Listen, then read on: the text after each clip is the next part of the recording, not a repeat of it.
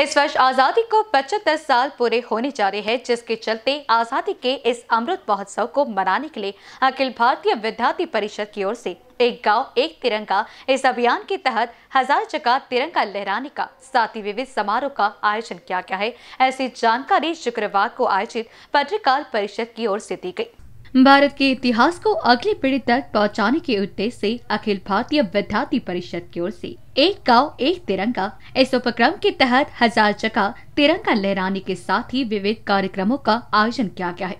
इस संबंध में अधिक जानकारी देते हुए भारतीय विद्यार्थी परिषद की ओर से बताया गया कि आज़ादी के अमृत महोत्सव के चलते एक गाँव, एक तिरंगा के तहत भारत माता पूजन, वीर माता सत्कार, पूर्व सैनिक सत्कार, ऐसे विभिन्न कार्यक्रमों का आयोजन किया गया है।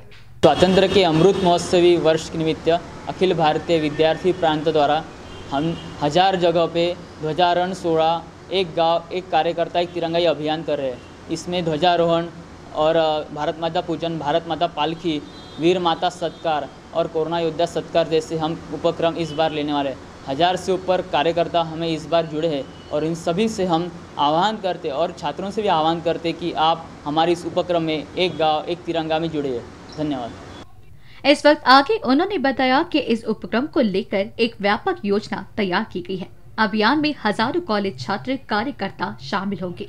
अभियान और यशस्वी हो, इस उद्देश्य से अखिल भारतीय विद्यार्थी परिषद की ओर से विविध गाँव में भी संपर्क किया जा रहा है, ऐसी जानकारी भी इस वक्त उनकी ओर से दी गई।